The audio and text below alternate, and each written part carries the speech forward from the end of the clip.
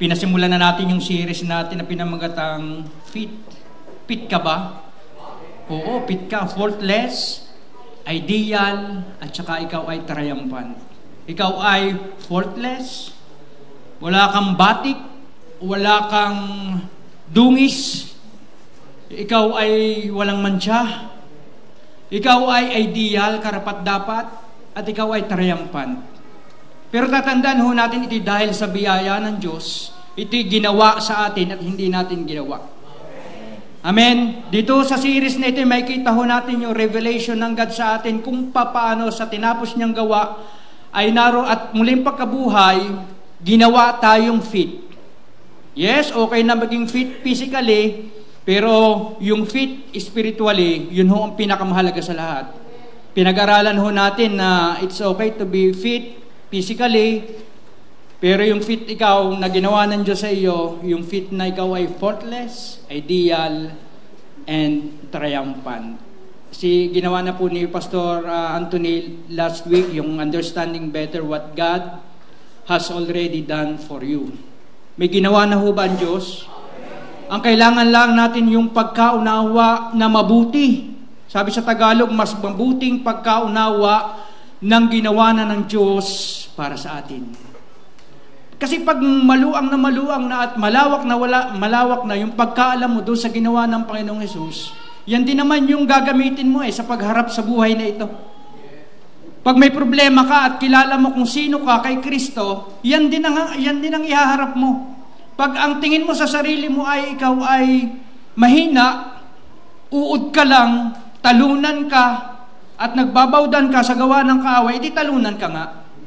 Tama? Kasi kung ano yung iniisip mo, yun ang mangyayari sa'yo. Pero kung alam mo na ikay fit, ikaw ay faultless, ikaw ay ideal, ikaw ay triumphant, abay kahit anong pagsubok yan dumating sa iyo, siguradong magtatagumpay ka. Amen? Palakpakan nga ho natin ang Panginoon. Ang problema naman at pagsubok ay isa. Mahirap buhatin. Pero salamat sa Diyos, kasama natin ang Diyos na bumubuhat nito. At nagbibigay sa atin ng tagumpay. Ang atin hong topic ngayon ay, Sino ako kay Kristo? Sino ka ba? Alam na ho ba natin kung sino tayo kay Kristo? Maaring sa personal mong sarili, sa pagkaunawa mo mula pagkabata hanggang sa edad mong ito, kilala mo na ang sarili mo. Baka nga mayroong pang nagbigay sa iyo ng palayaw eh. Dahil sa kulay ng iyong balat. Dahil sa mga physical appearance mo na kakulangan ang iba, kakulangan sa iba, maaring ikaw ay maluwang ang butas ng ilong, kaya ang tawag sa iyo si Kuweba. Maaring ang iyong kulay ng balat ay maitim, kaya ang tawag mo sa iyong sarili, kung ano-anong itinalaga, palayaw, na mula pa ka baluga, nugnog, pero black is beautiful. Amen? Black is beautiful. Tayo lang po ang masyadong, uh, masyadong, uh, ano sa kulay, sa panlabas.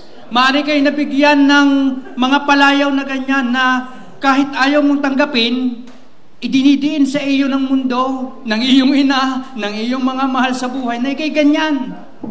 Ano? Yung mga experiences mo, yung mga pagkakamali mo, at saka mga pagkukulang mo doon nung, nung ikaw ay hindi pa kristyano, ibinunton din sa iyo. Ah, yan ay si ano, ganyan. Ay, hindi ko nasasabihin ng mga ano, yan ay si hari ng sablay. Yan naman ilagi ng tam, siya ang tama. Di ba? Laging merong kang merong inilagay sa iyo na ewan ko kung hanggang sa ngayon habang nagre-renew tayo ng isipan ay daladala mo. O kinakalimutan mo na dahil sa biyaya ng Diyos. Sa English po ang tawag diyan ay label. Sa mga Amerikano may label, may itinalaga sa iyo. Halimbawa si kulot. Uh, kulot, yan ay salot. Di ba ang dami natin mga Batanggenyo, ang dami nating Meron kasi tayong may pagka monoculturism tayo na pagdating pag ang mga taga Mindoro pupunta dito ng tawag natin sa mga taga Mindoro. Oh, kita nyo na. Minsan nalelabela natin yung ibang tao na hindi naman angkop. Pero ito si Apostol Pablo, kaya nga sabi niya sa Korinto 5.16, sa ikalawang Korinto, hindi na namin tinitingnan ng tao ayon sa sukat at pamantayan ng mundo.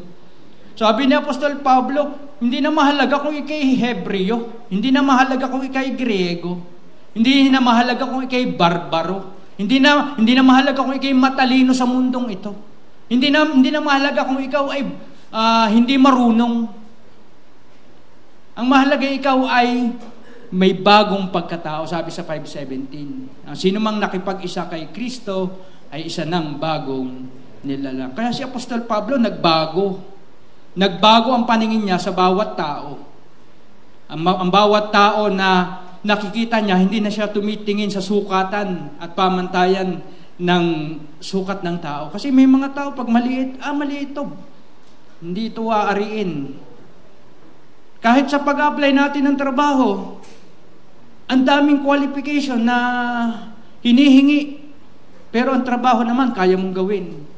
Pero dahil sa qualification, hindi ka makapasa-pasa. Ito pong si Sakeo, maraming pilak, pero pandak. Tama ba? Mapilak, pero pandak. Pero nung siya humarap sa Panginoon, hindi ang nakita ng Panginoon ay yung kanyang pagiging pandak at maraming pilak. Ang nakita ni Jesus kay Sakeo, si yung pusong humahanap sa kanya. Kaya si, si Sakeo na dating pandak, abang nung makita ng Panginoon at may share ang kabutihan ng Diyos, siya na ngayon ay pinagmamalaki ng Panginoon. Yung pandak at mapilak, pinagmamalaki na ng, ng Panginoon. Sabihin mo nga sa katabi mo, ipinagmamalaki ka ng Panginoon. Nung sumampalataya kay Kristo, pinagmamalaki tayo, pinagpipitagan tayo. Kaya napakagandang makita natin yung mga sarili natin sa paningin kung sino tayo kay Kristo. Hindi mahalaga kung sino ka doon sa asawa mo. Amen? Merong asawa na hindi makontento, na laging mali ang nakikita sa iyo. Kahit ang ganda na ng laba mo, nag-washing machine ka na, sasabihin eh, bakit mo pinagsama ang puti sa decolor? Eh, hindi ko naman alam na nahawa eh. Hindi mahalaga ang sasabihin ng iyong, ng kung sino pa man. Ang mahalaga yung sinasabi sa iyo ni Kristo. Sino ako kay Kristo? Kahit si Pablo, dati may label. Anong label ni Pablo? Mamamatay tao. Taga-usig ng iglesia. Pero nung siya makil, nung, nung magpakilala sa kanya si Kristo, na iba yung label.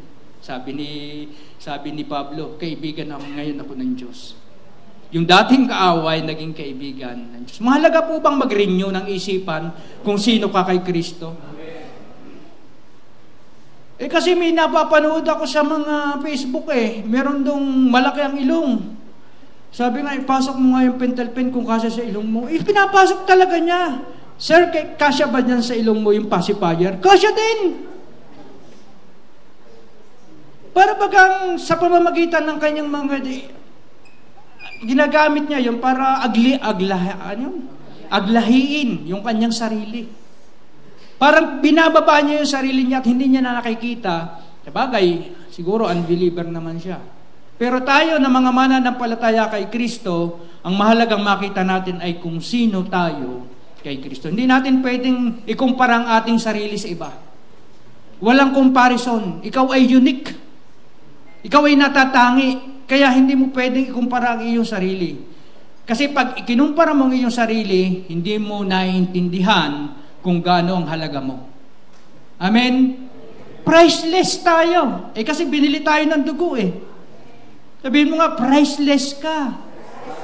Kaya kung ang pagkukumparahan mo lamang yung mga tao sa Facebook, ang pagkukumparahan mo lamang ay yung kapitbahay mo, politiko, artista, kulang yun.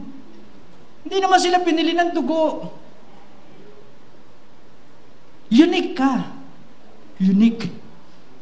Kaya kahit ikaw ay ang appearance mo ay ganyan, hindi ang appearance mo ang tinitingnan ng iyong Panginoon. Sabi, sabi sa unang uh, ikalawang Korinto 10:12, hindi namin ipinapantay o ihahambing man lamang ang aming sarili sa ilang nagbubuhat ng sariling bangko.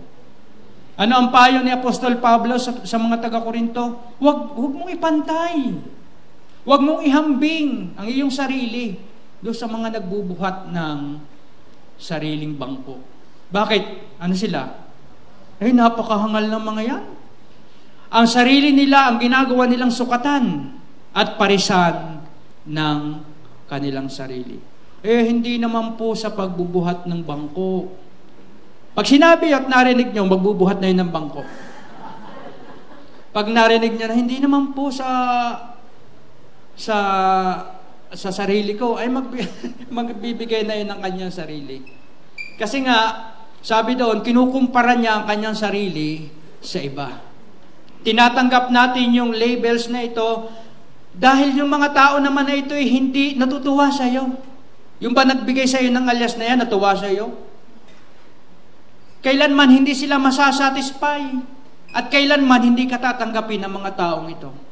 Samantalang yung tumanggap sa atin, si Kristo, nagbigay sa atin ng label na maganda. Mamaya tatalakayin ho natin kung sino tayo kay Kristo. Yung mga taong nagbigay sa iyo ng palayaw, ah, si huuhugin yan eh. Buti nga ngayon, walang tumutulo sa tenga. Noong una kami, may nakikita kami tumutulo eh. Bakit noon? Walang COVID. Kahit may sipon na 11, pagsingot niya, nandun uli sa kanyang utak, eh, wala naman nangyayaring COVID. Pero ngayon, ang galaw sa iyo, may linya na nga ng dalawa yung 11 mo eh. Nagalaw ka ng ganun. Ang ganda ngayon niya. Nung, nung nagkita naman kayo nung, ano, nung college na, wow, ang ganda mo na sis. Who, you? Sino ka ngayon? Pwede bang manligaw sa iyo? Eh, niluloko mo ako nun eh. Sabi mo, may 11 ako.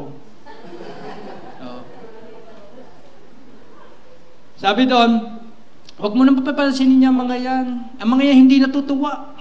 Hindi masasatisfy at hindi kailanman ikaw kayang tanggapin kung sino ka. Amen? Kaya natatapos ka, you end up wounded. Sabi doon, sometimes ikaw ay paralisado na sa dami ng label na inilagay sa iyong isipan na minsan ikaw ay mabait, sabi doon. Ba't ganun ikaw hindi na minsan nagpautang, ay ikaw ay masama na? Na sa dami-dami ng iyong ginagawa sa kanila, isang beses lang na ikaw ay hindi gumawa ng mabuti, ang nakikita ay yung hindi mabuti. Sabi doon, wounded ka. Ikaw ay magiging paralisado sa opinion at sa mga taong ayaw ka naman tanggapin. Kasi kung, kung ikaw ay pinakitaan mo ng mabait, at hindi mo pinakitaan ng mabait at tinanggihan mo, mabait pa rin sila sa iyo. Tama? Kaibigan mo pa rin siya. Pero dahil nga sila ay uh, pa, uh, tawag doon, nagsasamantala sa iyong kabaitan, pag hinindihan mo, ayaw na sa iyo. Eh, ayaw talaga sa iyo.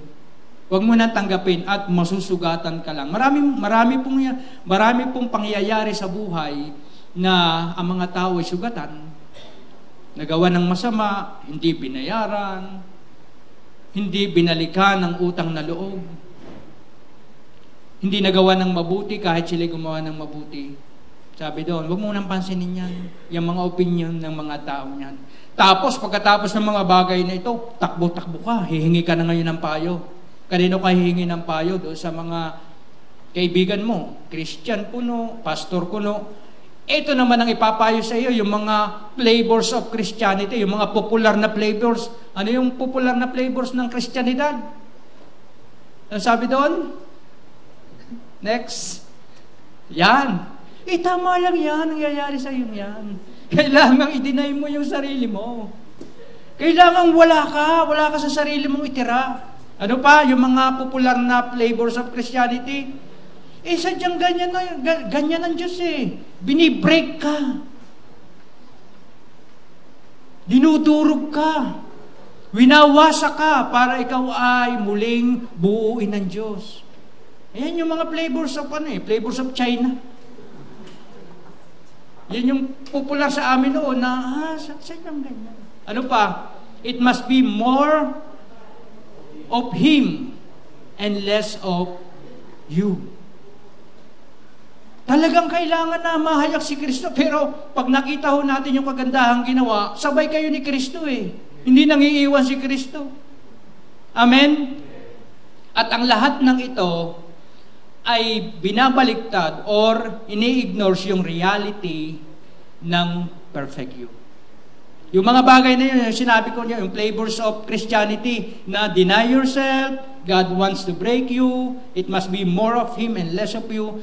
Hindi nila nare-realize yung kagandahan ng perfect na ikaw. Hindi nila nakikita. That you are the righteousness of God in Christ. Gano'n ka-righteous ikaw? The righteousness of God in Christ. Matatanggap ba yan ng mga nagtuturo ng flavors of China? Eh, hindi mo tatanggap po yan. Kasi perfect yun. Sa ikalawang Korinto 5.21, na ikaw ay isang bagong nilalang at ang pagkalikha sa iyo ay created to be like God in true righteousness and holiness. Paano ka daw nilikha? Created to be like God. Ay matindi po ang pagiging kung sino ka kay Kristo.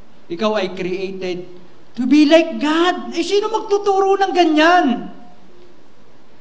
Saan mo maririnig na ikaw ay nilikha? At ikaw ay walang batik, faultless. Ikaw ay ideal, karapat dapat. Eh, nagpipray nga tayo no, every Sunday na, Lord, gawin mo nga akong karapat dapat. Eh kasi nakatingin doon sa behavior. Nakatingin doon sa kaluluwa, pero hindi nakikita yung ganda ng kanyang espiritu.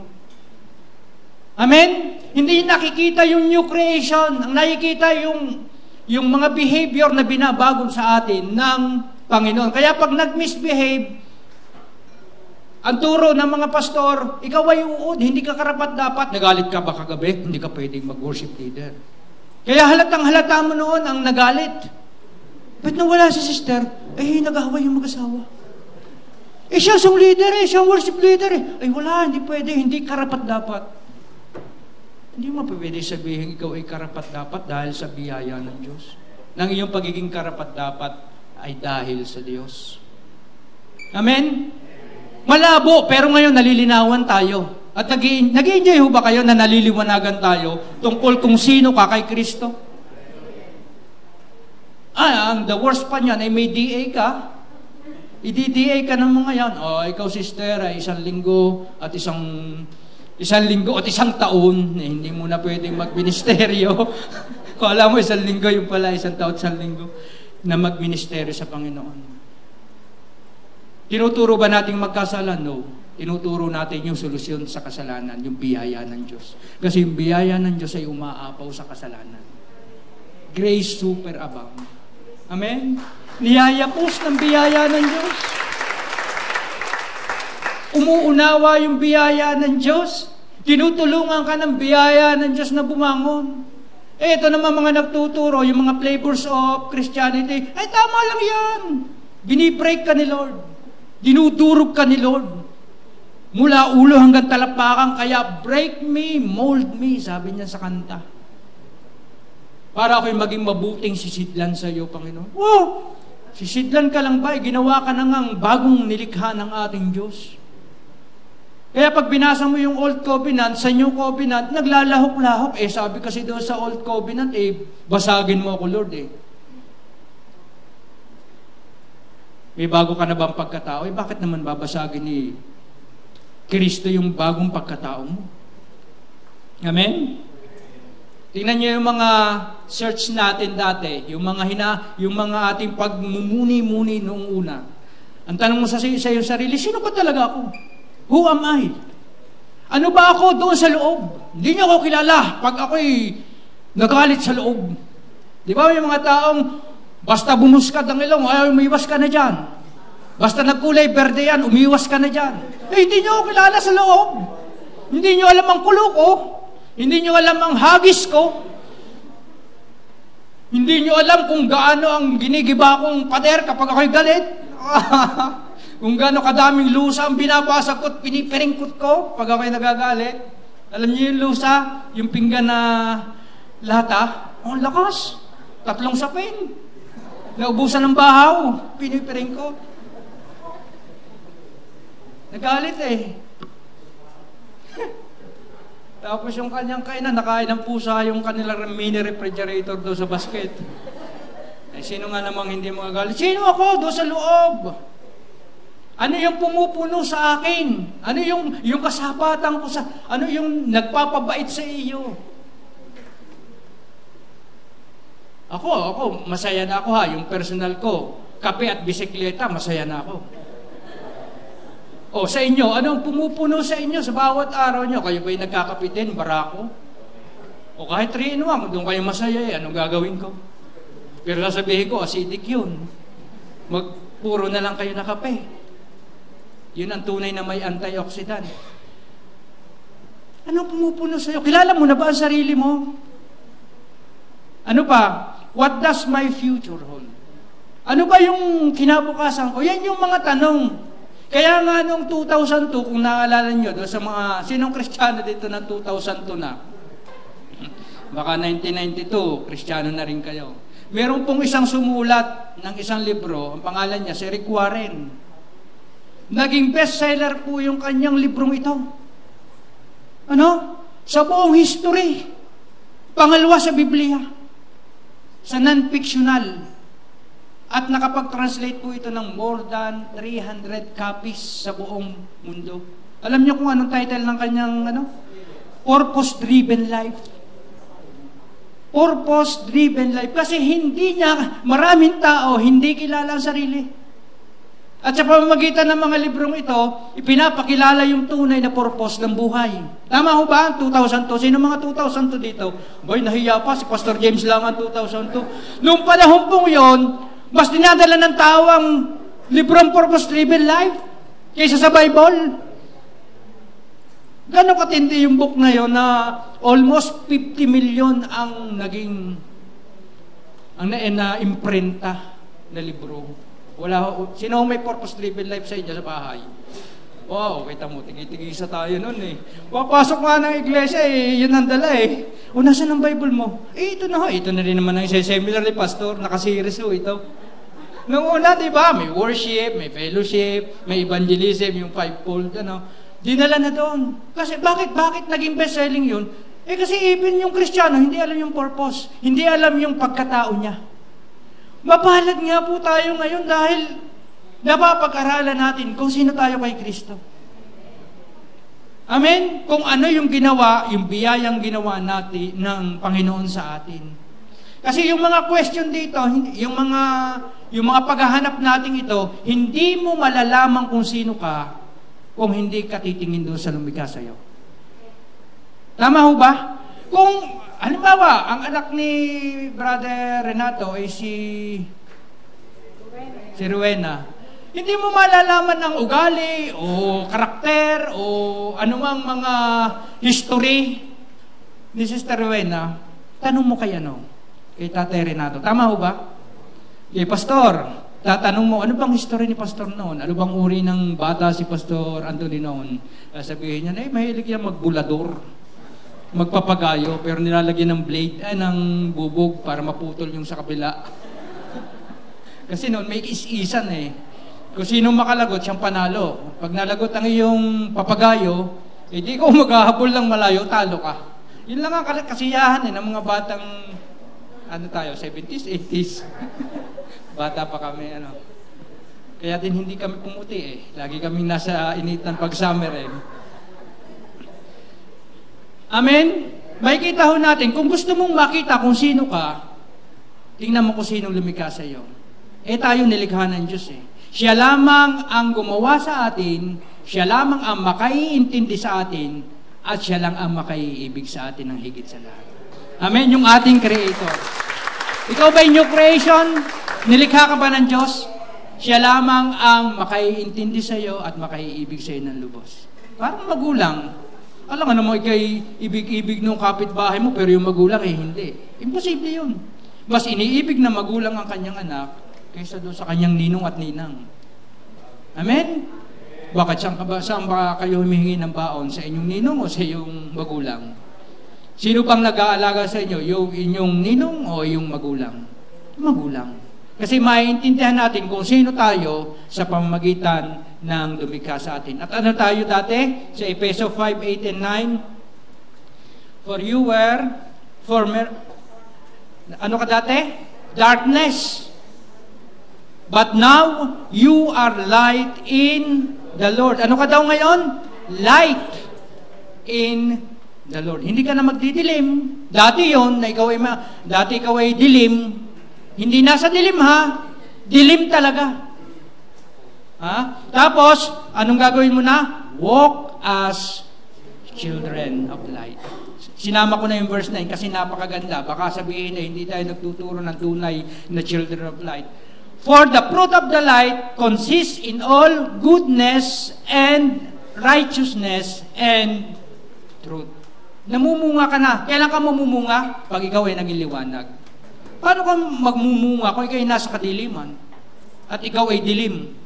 Kaya ang ginawa muna ni God, kung paano tayo tinransform, nilagay ka muna. Ginawa ka munang liwanag para magbunga ka ng kaliwanagan. Makamum, makapamumunga ka na ba ng kaliwanagan? Eh, nasa liwanag ka na eh. Kaya obvious na obvious sa atin na mananampalataya na ginawang liwanag na hindi makita yung mga kabutihang ginagawa natin sa ating kapwa. Nakikita man o hindi, ito man ay napapansin ng tao o hindi, obvious kasi anak ka ng kaliwanagan. Sabihin mo nga sa katabi mo, anak ka ng kaliwanagan. Amen? Tingnan ho natin kung paano yung ginawa ng Diyos, kung ano yung binago sa atin ng Diyos unang-una. Tingnan ho natin yung ating puso. Tingnan ho natin kung sino ka. Ito mahalaga eh. Ito yung, yung buod. Tingnan natin yung our heart. Ito yung core of our being. Ito yung kasinto-sentruhan. Dito nagmumula. Dito nagmumula yung mga spiritual longing mo sa Diyos. Eh may bagong puso ka na. Nilolong mo na ba ang Panginoon? Hinahanap mo na ba siya? Hindi lamang tuwing linggo, kundi araw-araw, bawat pagising mo. Oh Lord, salamat po sa umagang ito. Yun agad ang nasa isip mo. Dati, pinipilit ka, ngayon hindi na.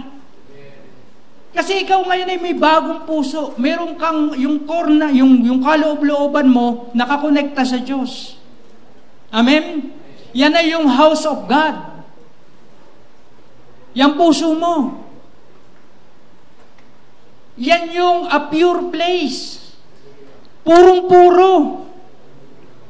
Ano? A pure place. Kaya sabi doon, kailangan, sino sa inyo tumitira? Halimbawa, mag-aaral ka sa UB o kaya sa, sa, sa Westmed o kaya ay sa Lyceum Sino sa inyo ang uh, rerenta ng apartment pagkatapos nakita niyang madumi?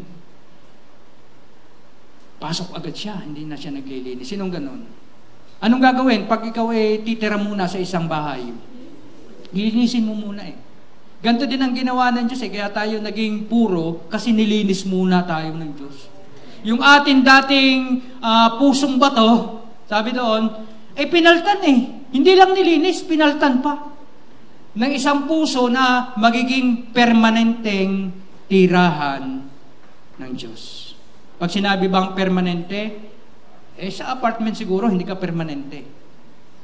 Pag boarding house, magbo-board ka lang. Pero ito, ikaw ay tinarhana ng Panginoon sa iyong puso. Ano?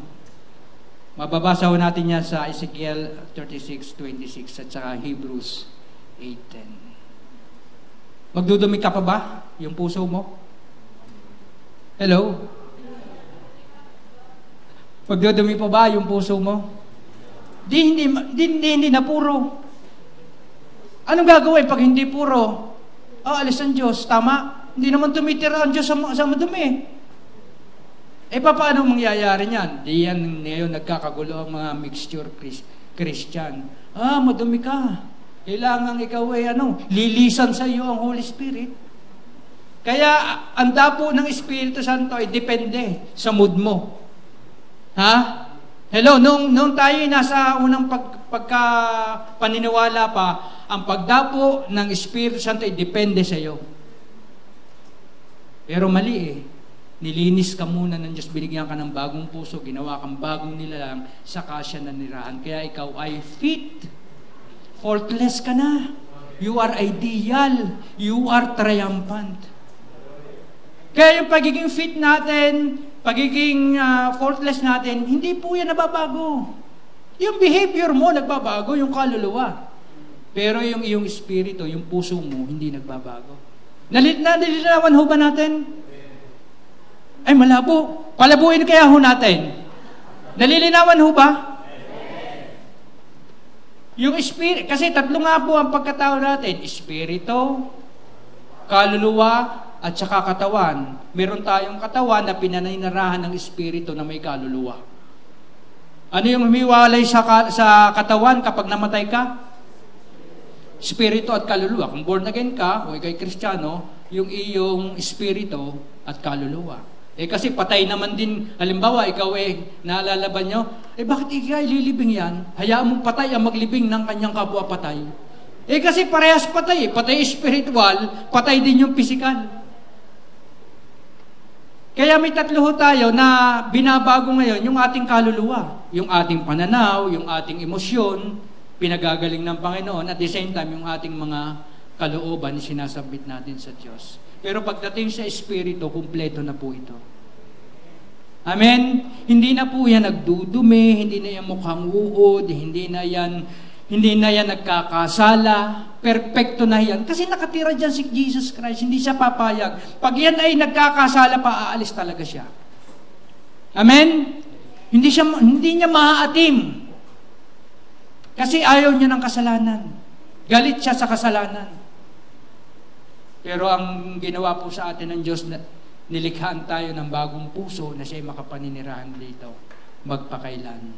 Kailan pa man. Palakpakan natin ang Panginoon. Kaya pag sinabi ng mga taong, abay, i-check mo ang puso mo.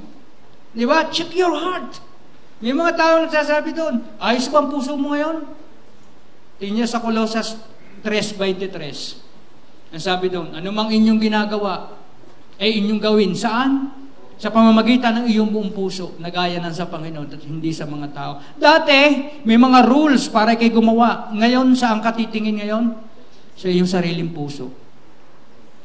Kasi, check na nga ang heart mo. Okay na ang heart mo. Kaya, ano man ang iyong gagawin ngayon, may gagawin kang mabuti, gawin mo ng buong puso. Kasi ayos na nga ang puso mo. Amen? Walang problema sa puso ng isang Kristiyano. Ang isip may problema. Ang pagkaunawa may problema. Pero pagdating sa puso, walang problema sa puso ang isang Kristiyano. Sabihin niya po, wala kang problema sa puso. Yung physical heart mo siguro may problema. Pero yung puso mo, yung buong pagkatao mo, walang problema yan sa Diyos. Amen? Yan ay fit. Yan ay faultless. Yan ay ideal, pinaninirahan ng Diyos na walang hanggan. Hindi kailanman, sabi nga na, hindi kailanman aalis ang Panginoon. Eh, hindi, siya nangako eh. Hindi naman ikaw ang nangako eh. Anong pangako niya? Hindi kita iiwan, hindi kita pababayaan. Ah, hindi naman niya sinabing, sometimes hindi kita iiwan pag ayos ka, pero pag hindi ka ayos, yung yung behavior, iiwanan kita. Kawawa naman ang isang Kristiyano pag ganun. At ganun ang naging kalagayan natin noong unang panahon. Lagi na lang tayong parang pagod na pagod. Hirap na hirap sa buhay Kristiyano natin ito. Pero ngayon, maluwang ba ang buhay Kristiyano mo? Pag hindi kayo naalwanan sa buhay Kristiyano nyo, ibig sabihin may natitira pa sa inyong sariling pinupursigin ninyo sa mga tinapos na gawa ni Kristo. Eh, mas magaling pa nga yung unbeliever. Sabi nila, let's drink, be merry. For tomorrow we will die. nag enjoy sila sa buhay na ito. Meron silang datong, meron silang chideng, meron silang Kristi. Lahat meron sila. Samantalang ikaw, pinahihirapan dito sa mundong ito, Kristiyano ka pa. Mali ang pananaw. Pare-parehas pa ang tao na may problema? Depende yan kung paano mo haharapin ang problema. Haharapin mo sarili mo o haharapin mo nakasama si Kristo. Hindi kita iiwan ang pangako niya. Hindi kita pababayaan. Nabago ba yung katotohanan na hindi kayo iwanan ni pababayaan man kung mali ang iyong pag-iisip? Hindi. Hindi pa rin magbabago. Nandyan pa rin si Kristo. Kaya lang, ang mindset mo, hindi ka nagre-renew na ikaw ay may bagong puso na kasama at naninirahan sa iyo si Kristo. Kaya mindset, mindset ba? Mindset. Alam ko, nagdaan din tayo sa maraming gantong sistema, ang dami nating struggle, ang dami nating paano haharapin ang buhay, dami-daming Ang dami-daming problema ng mundo. Sa sasadami. Sabi nga ng kanta ng una. Nataas ang diesel, nataas ang... Lahat na, tumaas. Nataas ngayon ang kuryente, ang bill sa kuryente. Pero kung wala kang ang Kristo, mararatel ka. Amen? Pero kung ikay may Kristo, mapapanatag ka. Kasi sabi doon, eh, ibigay mo sa Kanya lahat ng iyong alalahanin sapagkat siya ay nagmamalasakit sa atin. Hindi lamang nagmamalasakit, willing pa siyang tumulong. John 17 verse 20, ang ganda ho nito, tinalakay ni Pastor James, paano ka nagkameroon ng pagkakaisa o ng oneness kasama ni Kristo? Ba basahin ho natin. And I ask, and I ask not only for these disciples, sabi doon, but also for all those who will one day believe in me through their message. Kung nanampalataya na po tayo, kasama na tayo dyan. Sa verse 21, ano pinalangin ni Jesus? I pray for them all to be joined together as one, even as you and I, Father, are joined together as one. Nagkakaisa sila ng Ama at ng Anak. I pray for them become one with us so that the world will recognize that you sent me. Verse 22, For the very glory you have given to me. Ibigay na ba? I have given them. Saan yun? Doon sa mga nanampalataya sa atin. Para saan? So that they will be joined together as one and experience the same unity what we enjoy. Enjoy mo na yung unity na kagaya ng sa ating Panginoong Iso Kristo at ng Ama. Kailangan ma-experience mo yan. Iniwan ba ng Diyos si Kristo kailan, kahit kailan? Hindi. Maliban na lang nung, nung buhatin ni Kristo yung lahat ng kasalanan ng sanlibutan. Pero the rest, mula sa, sa pundasyon ng paggagawa ng mundo, hindi iniwanan ng Ama si Kristo. Perfect unity sila eh. Sabi sa 23, You live fully in me. Sabi, ang, ang ama at ang anak, sabi doon, ang ama ay naninirahan. Ano daw? Fully. Buong buo. And now, I live fully in them. Ano daw paninirahan sa atin ng Diyos? Fully. Full time. All the time. Fully. Sabi sa sali na ano, perfecto, perfect in one. Ang paninirahan sa Diyos ay talagang pit na pit ka para panirahan ng Diyos. Pit na pit ang Diyos na tumira sa iyo dahil ikaw ay nilinis, sinangtified, ginastified ng ating Panginoon, nilinis, hinugasan ng kanyang dugo. Kaya pit na pit. At ang kanyang paninirahan, sabi doon, ay fully. Hindi, hindi paboard-board lang ang Panginoon. Hindi nagbo-boarding house ang Panginoon sa iyo. Full ang paninirahan sa atin ng Panginoon. So that they will, yun na naman, experience, ano? Perfect unity. Yan dapat po ang ating buhay ngayon eh. Yung, yung meron na tayong pakikipag-isa na hindi kailanman tayo iiwan ni pababayaan ng Diyos. And the world will be convinced that you have sent me. For they will see that you love each one of them. Anong uri ng pag-ibig? Ang ang, ang ibinibigay sa atin with the same passionate love that you have for me. Gano'n ka iniibig ng Diyos? Hello? Gano'n ka iniibig ng Diyos? Kung gaano karubdob ang pag-ibig ng Diyos Ama kay Kristo, ganun ka rin iniibig ng ating Panginoon. Kulang ka ba sa pag-ibig? I don't think so. Hahanap ka ba ng pag-ibig sa kapwa-tao mo para masatisfy yung iyong kaluluwa? Hindi. Hindi makakapuno ng ng pag-ibig yung iyong opposite. Ang pag-ibig ng Diyos ang pumupuno. At kailanman yung pagpuno niya, hindi na magkukulang. Kaya nga sabi doon eh, hindi ka nakakailanman mauuhaw, hindi ka nakailanman magugutom. Amen? Meron kang hinanap dati na uhaw na uhaw ka, pero nung nasumpungan mo si Kristo, hindi ka na magugutom ni mauuhaw ka. Hindi mo na siya mapapalitan ng anumang mga bagay na nasa sanlibutan para maging masaya ka. Nakuha nyo? Wala kang makukuha sa sanlibutan na hindi na ibigay ni Kristo na pumuno sa iyong puso. Eh kasi nga, pumunta siya sa puso mo. Pumunta siya sa puso mo. Ang kalakihan ng Diyos ay pumunta sa puso ng tao. Nang nanampalataya sa Kanya, ano pang kukulang? Baka nga ikaw ay titighan na lang. Dahil wala ka nang pwedeng ilagay doon sa inokupay ni Jesus sa puso mo. Nakukuha mo ba natin ang kagandahan mo? Sino ka kay Kristo? Ano pang pupuno sa iyo? Ano pang kailangan mo na makaka-satisfy ng iyong puso kung si Kristo ay tumira na sa iyo?